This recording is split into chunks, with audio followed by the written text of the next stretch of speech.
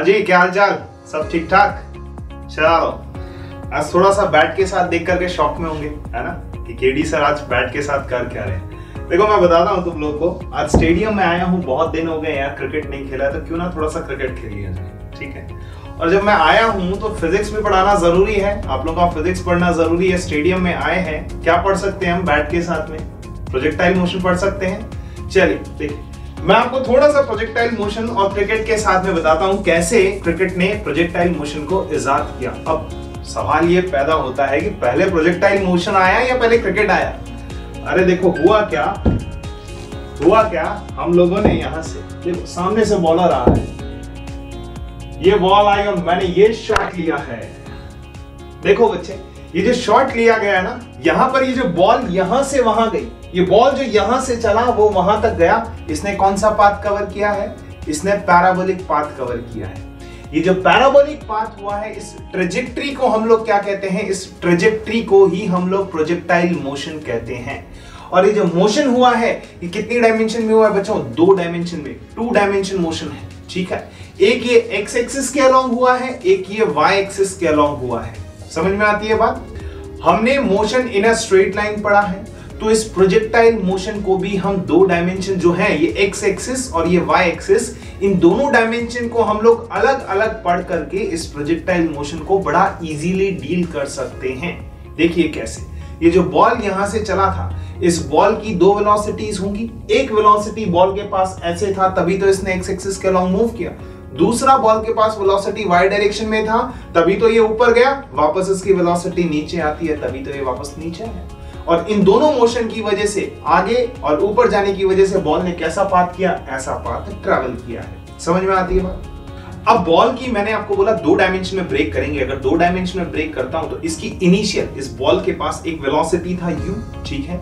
इस बॉल को दो वेलोसिटीज मिलेगा। एक वेलोसिटी इधर जा रहा है, ठीक है? दैट इज़ यू एक्स और एक वेलोसिटी ऊपर जा रहा है दैट इज़ यू वाई ठीक है? अब ये जो बॉल चला था, ये जो बॉल चला था, कितने एंगल पर चला है ये बॉल थीटा एंगल पर चला है। कितना एंगल पर चला है? थीटा एंगल पर चला है तो इस इनिशियल वेलोसिटी के दो कंपोनेंट होंगे।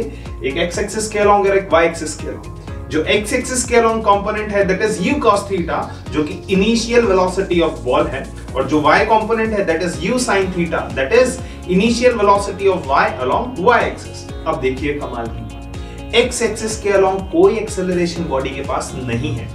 वाई एक्सिस के अलोंग बॉडी के पास एक एक्सेलरेशन है, जो किसकी वजह से है? धरती की वजह से लगता है अर्थ की वजह से लगता है, जिसका वैल्यू क्या है? जी जो कंटिन्यूअसली डाउनवर्ड्स लग रहा है, ठीक है? अब क्योंकि इसके पास कोई एक्सेलरेशन एक्स एक्सिस के अलोंग नहीं है तो ये कांस्टेंट वेलोसिटी से मूव करता रहेगा। वाई एक्सिस में क्या है? नीचे की तरफ़ एक एक्सेलरेशन लग रहा है दैट इज़ जी तो ऊपर जाएगा वेलोसिटी धीरे धीरे डिक्रीज होगा, एक पॉइंट ऐसा आएगा जहाँ पर वेलोसिटी क्या हो गया? ज़ीरो हो गया। ठीक है? जब ये पॉइंट का वेलोसिटी ज़ीरो हो जाता है, उस टाइम पर मेरा बॉल चलता चलता कहाँ पहुँचा? मेरा बॉल चलता हुआ यहाँ पहुँचा। मतलब कि ये कहाँ पहुँच गया है? मैक्सिमम हाइट पर पहुँच गया है। समझ में आ गई बॉल कहाँ पहुँच गया है? मैक्सिमम हाइट पर पहुँच गया है। अब उसके बाद बॉल ने वापस नीचे आना चालू किया तो बॉल वापस से नीचे आ रहा है। आगे भी जा रहा है, नीचे भी आ रहा है। ठीक है? तो बॉल ने क्या करा? टी टाइम में यहाँ से लेकर यहाँ तक का डिस्टेंस कवर किया है। इस टी टाइम को हम लोग क्या बोलते हैं? Time of flight. और जो एक्स एक्सिस में बॉल ने ये जो डिस्टेंस ट्रेवल करा है, हॉरिजॉन्टल डायरेक्शन में, इसको हम लोग कहते हैं रेंज। समझ में आती है बच्चा? ठीक है? अब जो छोटे छोटे कॉन्सेप्ट आपको ध्यान रखने हैं, वो क्या है कि जब बॉल मैक्सिमम हाइट पर पहुँचता है तो उसका वेलोसिटी कितना हो जाता है? ज़ीरो हो जाता है। जो बॉल का हम वेलोसिटीज को दो कंपोनेंट में डिवाइड किए थे, पहला वाला कंपोनेंट एक्स एक्सिस के along that is u cos theta जो हमेशा कांस्टेंट रहेगा क्योंकि एक्स एक्सिस में कोई एक्सेलरेशन नहीं है। y एक्सिस के अलोंग एक एक्सेलरेशन है, जो कितना है? जी हमेशा कहाँ लगता है? डाउनवर्ड्स लगता है। ठीक है? समझ में आती है बात? ठीक है बच्चा?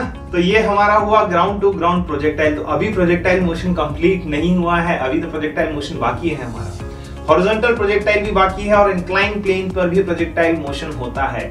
तो अगर आपको ये वीडियो बहुत अच्छा लगा है तो लाइक शेयर और सब्सक्राइब ज़रूर करें और मुझे कमेंट बॉक्स में बिल्कुल नीचे लिख करके बताएँ। जितने ज़्यादा आपके कमेंट्स होंगे, उतना जल्दी मैं आप लोगों के लिए हॉरिजॉन्टल प्रोजेक्टाइल और इंक्लाइन प्लेन वाला प्रोजेक्टाइल लेकर के आ जाऊँगा। Thank you guys download E career point app best live online Kota coaching at your home